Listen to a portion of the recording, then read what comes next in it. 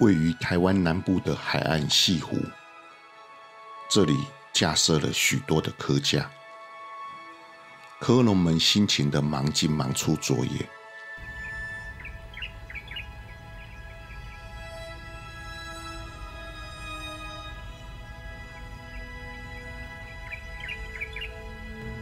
每当黄昏时候，科农们忙完一天的工作，陆续返航，渔舟唱晚，形成一幅漂亮和谐的夕阳景观。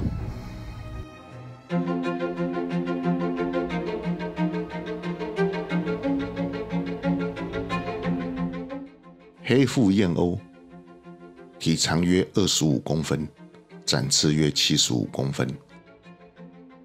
夏季时，它们居住在中俄边界的新凯湖附近；秋末时节，会经由中国东南部、台湾往南迁徙至中南半岛、菲律宾群岛，甚至澳洲及纽西兰等地避寒。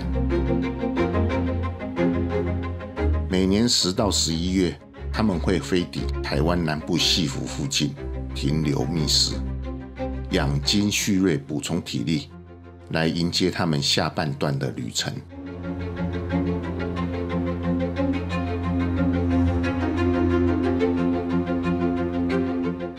台南北门真亚卡，这里布满盐田及西湖。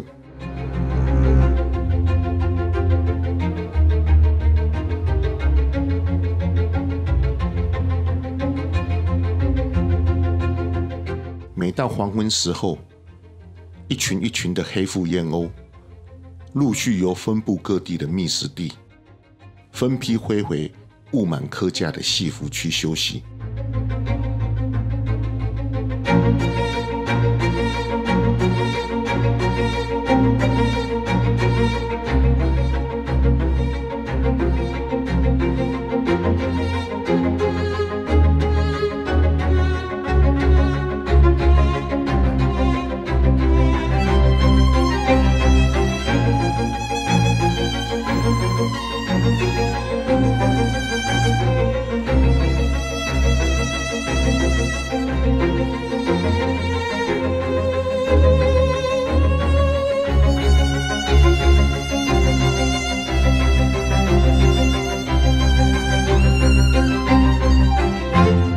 先到的族群会先在客家上驻脚停留。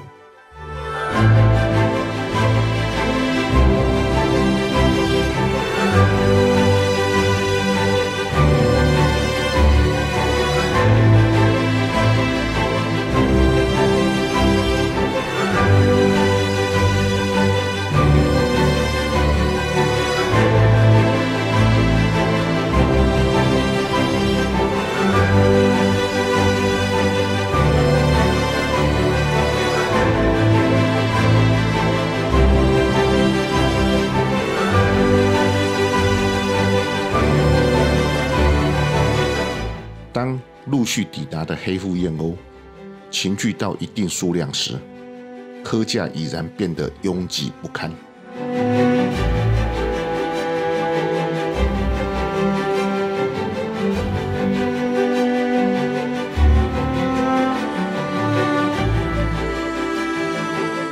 这时，群聚的鸟群就会开始躁动。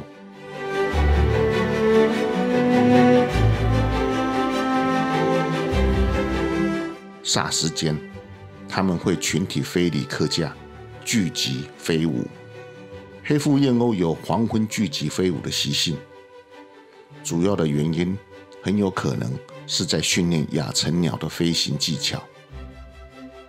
群飞还有另一种目的，可以共同扰乱天敌，减少被捕猎的机会。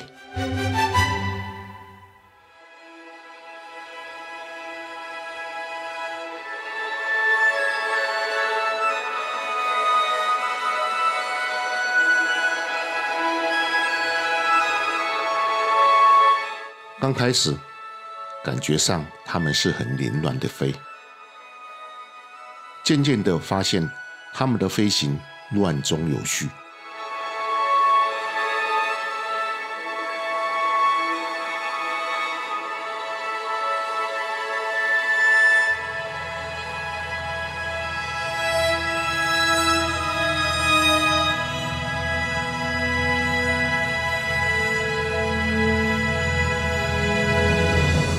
鸟群左回右旋，上冲下浮，整个队形变幻莫测，却又整齐划一，密密麻麻，蔚为奇观。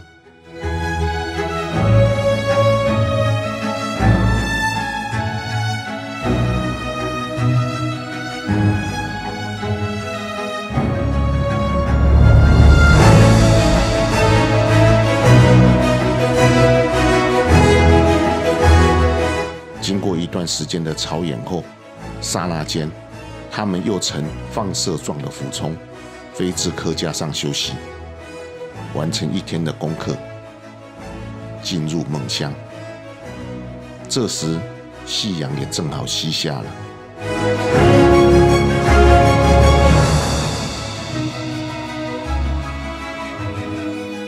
黑腹燕鸥的律动之舞，是用言语难以形容的。树大动态之美，超乎想象。看过之后，大家都惊呼连连，发自内心的赞叹，启动了对大自然审美的另一番境界。